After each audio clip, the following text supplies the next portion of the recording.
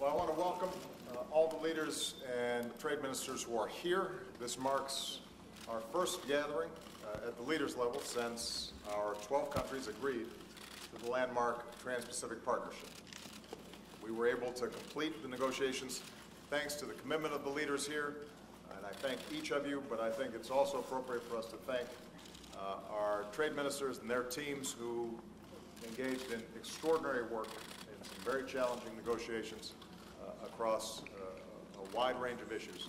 Uh, All of you did an outstanding job. TPP is at the heart of our shared vision uh, for the future of this dynamic region. We want all countries to pursue their interests and prosperity peacefully, based on common rules of the road on an open, level playing field of fair trade.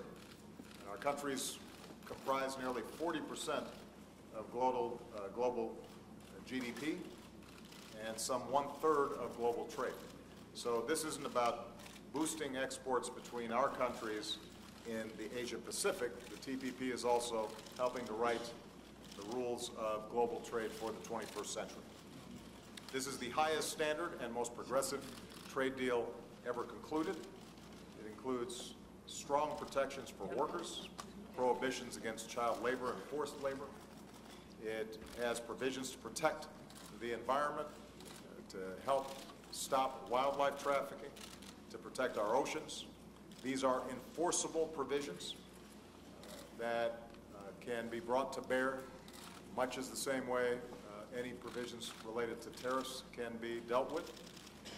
And as a consequence, this is not only a good deal economically, uh, it also reflects our common values.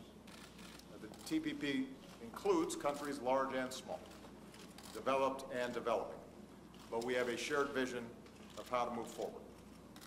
Today, we're going to discuss uh, the road ahead to ensure that TPP is enacted in each of our countries as swiftly as possible. Uh, Obviously, execution is critical uh, after uh, we have arrived at the text, and I just want to once again uh, commend all the leaders here for their extraordinary leadership. Uh, This is not easy to do. Uh, The politics of any trade agreement are difficult. The fact that uh, everyone here stepped up uh, and made some hard decisions that are going to pay off for decades to come, I think is a testimony to the vision uh, that was reflected. And I want to congratulate all of you for outstanding work. Okay? Thank you very much, everybody. With that, we're going to do a little work.